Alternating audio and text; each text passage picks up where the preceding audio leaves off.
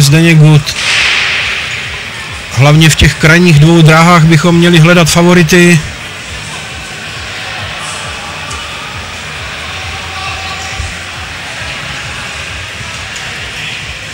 Ale, ale, ale, ale, ale Milan to ještě stihne na postup. Milan to stihne na postup. 17 do 17